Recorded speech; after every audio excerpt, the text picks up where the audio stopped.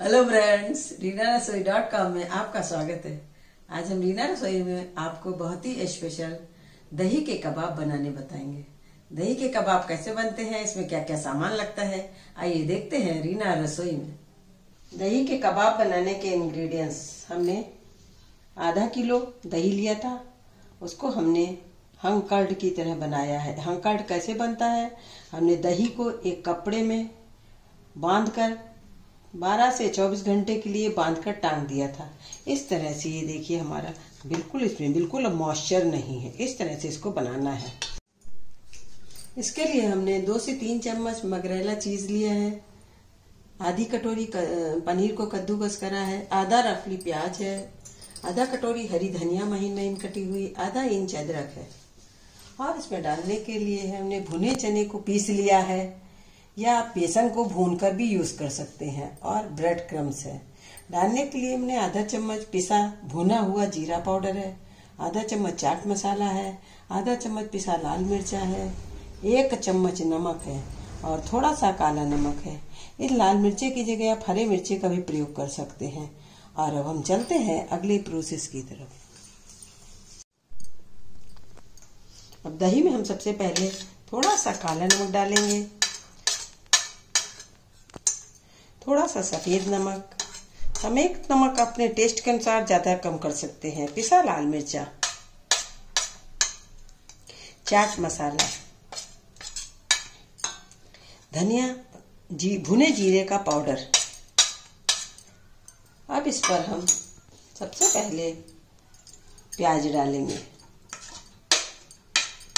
हमको किसी भी चीज़ में मॉइस्चर नहीं होना चाहिए। ये इसके लिए बहुत ज़रूरी है, ध्यान रखने वाली बात है। अब इसमें हम घिसा हुआ पनीर डालेंगे। इससे बैंडिंग बहुत अच्छी होती है। चीज़, इससे इसका टेक्सचर बहुत अच्छा आता है मकरेला चीज़ से। जिंजर और इसमें धनिया पाउडर कटी हुई हरी हरी धनिया। अब इसमें हम दो से तीन चम्मच पाउडर भुने चने का आटा डालेंगे। अब ये सब चीज़ों को अच्छी तरह से मिलाएँगे। देखिए, सारी चीज़ें हमने इसमें अच्छी तरह से मिला दी है। आप लोग सोचते होंगे कि दही के कबाब बनाना बहुत कठिन है, लेकिन दही के कबाब बनाना बहुत ही आसान है। बस थोड़ी बातों का ध्यान रखिएगा आप, जब भी इसके सब चीज़ें, जो जो चीज़ें इसमें डालिए, उसमें मॉइस्चर नहीं होना चाहिए। दही कबाब की यही मेन इसका ये है टिप्स देखिए, हमारे सारे मसाले अच्छी तरह से मिल गए हैं, और बनाना भी कितना आसान है। फटाफट आप बनाकर मेहमानों को भी खिला सकते हैं, खुद भी खा सकते हैं। अब ये हमारा कबाब का मटेरियल बनकर तैयार हो गया है। अब एक प्लेट में हम ब्रेड क्रम्स लेंगे। ब्रेड क्रम्स को हम फैला देंगे। अब इसके हम छोटे छोटे बॉल इस तरह से आप चम्मच से भी कर सकते हैं। आप फ्लैट भी बना सकते हैं, गोल भी बना सकते हैं। अगर आपको सैलो फ्राई करना है तो आप इसको थोड़ा सा फ्लैट कर दीजिए। इसका बैटर ऐसा होना चाहिए, आप अगर चम्मच से इसको उठा रहे हैं तो ये नीचे नहीं गिरना चाहिए। दही के कबाब की मेन यही ज़रूरी बात है, अगर दही का कबाब आप बनाइए, इसका जब पूरा बैटर तैयार हो जाए तो दही आपका चम्मच से गिरना नहीं चाहिए। तभी आपके कबाब बहुत ही बढ़िया लाजवाब बनेंगे। इस तरह से देखिए, हमने कर लिया है। इस तरह से आपको बॉल बनाना बहुत आसान होगा। अब इनके ऊपर से हम ब्रेड क्रम्स को डालेंगे। सब चीज़ के ऊपर ब्रेड क्रम डालकर इसको हम हाथ से उठाकर अब इस तरह से गोल गोल करेंगे। गोल गोल करने के बाद एक बार हम इसको और ब्रेड में करेंगे। ये देखिए। हमने इस तरह से बनाकर तैयार करेंगे सारे बॉल्स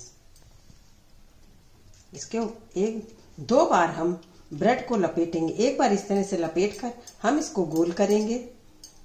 अगर आपको कम ऑयल का खाना है, अगर आपको सैलो फ्राई बनाना है तो इस तरह से कर कर आप इसको हल्का सा चपटा कर दिए फिर इसको एक बार इस तरह से फिर बोरिए। ये देखिए, इस तरह से आप सैलो फ्राई भी कर सकते हैं। दही कबाब बनाने के लिए हमको आँच को तेज रखना है, धीमी आँच नहीं रखना है। तेज आँच हमको इसलिए रखना है क्योंकि हमको बस केवल उसको डालकर डीप फ्राई करना है, ब्राउन कलर का। अंदर से वो क्रीमी रहेगा, ऊपर से क्रिस्पी। इसलिए हमको इसकी आँच तेज रखनी है। अब इसमें हम एक एक ब्रेड क्रम ये गोले उठाकर कबाब के डालेंगे।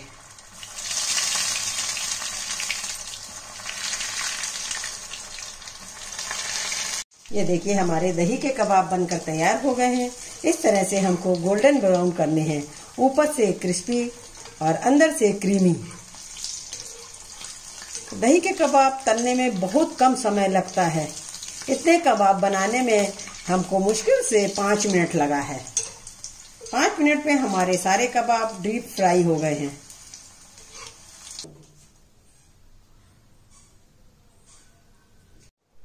हमारे लाजवाब दही के कबाब बनकर तैयार हो गए हैं। देखा? कितना फटाफट बनकर तैयार हुए हैं। इसको बनाइए, चाय के साथ गर्म गर्म सर्व करिए। यदि हमेशा की तरह आपको हमारी रेसिपी पसंद आती है तो लाइक करिए कमेंट लिखिए शेयर करना ना भूलिएगा। यदि आपने हमारे चैनल को सब्सक्राइब नहीं करा है तो उसको प्लीज़ ज़रूर करिएगा। एक नई रेसिपी लेकर हम फिर मिलते हैं। तब तक के लिए ओके बाय